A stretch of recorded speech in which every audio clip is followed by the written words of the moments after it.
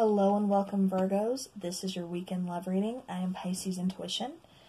Um, we're going to be taking our first card from the Romance Angel Oracles, and then we'll be drawing some tarot cards for your energy for this weekend, uh, your person's energy, and also the mutual energy. All right, so Virgo. Um, bottom of the deck is reconciliation. Someone from your past is returning to your life. And then you also get deception. Someone is wearing a false um, self mask in this relationship. And then heart to heart conversations. Honestly discuss your feelings with each other. All right, Virgo. So these are the two that popped out for you. All right, now with the tarot. Actually, I'm going to cut the deck for the tarot. I just feel like I need to do it for you guys.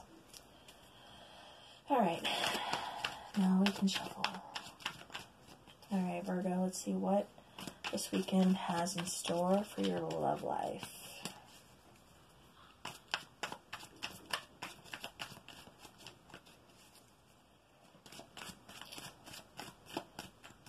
Alright, um, the 13th, there is a full moon in Aries.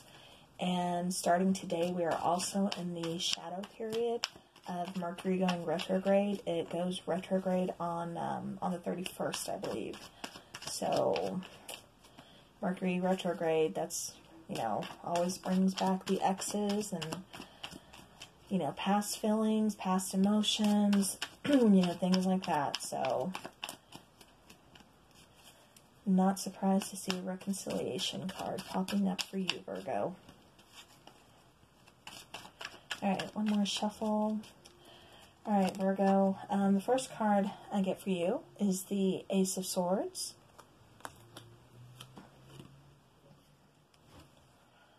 and then we get the Eight of Cups. And then we have the Eight of Swords.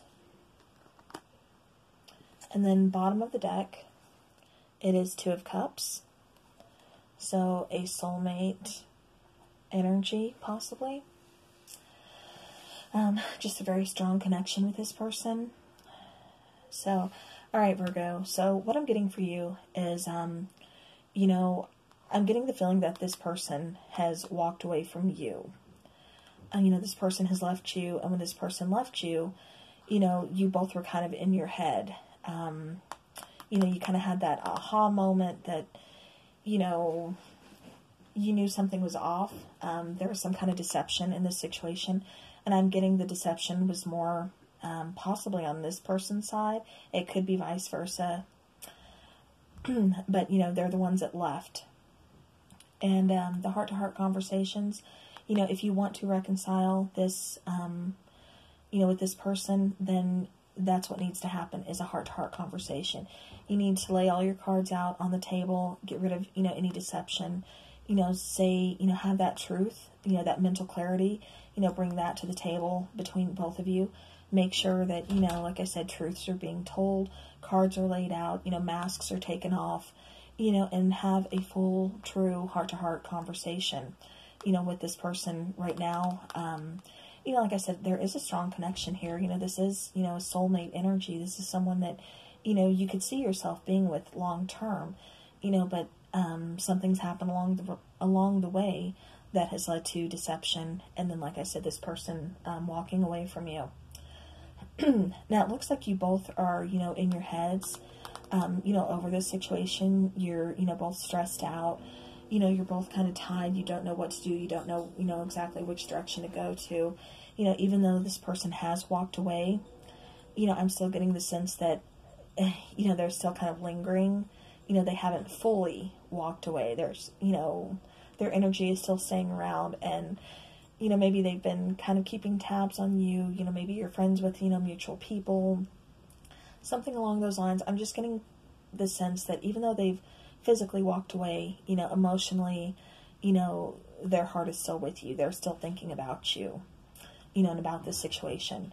And like I said, so, you know, Virgo, if you do want to reconcile this connection, you know, definitely sit down, you know, have that moment with each other where you're bringing, you know, full truth and mental clarity, you know, heart to heart conversations, you know, taking off the mask, you know, saying it, everything that you need to say, you know, get everything out on the table and start fresh, you know, start new, you know, and that will bring about, you know, reconciliation, you know, with this connection. Um, like I said, this is, you know, very strong connection, you know, kind of written in the star, soulmate, long term partnership that I see. So, um, you know, overall for this weekend, Virgo, either you could be reconciling with someone or you could just be having, you know, a heart to heart conversation, you know, with someone and trying, um, you know, kind of clearing up some, you know, some deception, some deceptive issues that, you know, maybe other people have put on you or, you know, that have just been within this connection, you know. So, Virgo, I hope that helps. Um, have a great weekend. I will be back again with a pick a card and then your weekly zodiac readings. So, again, have a great weekend and thank you for watching.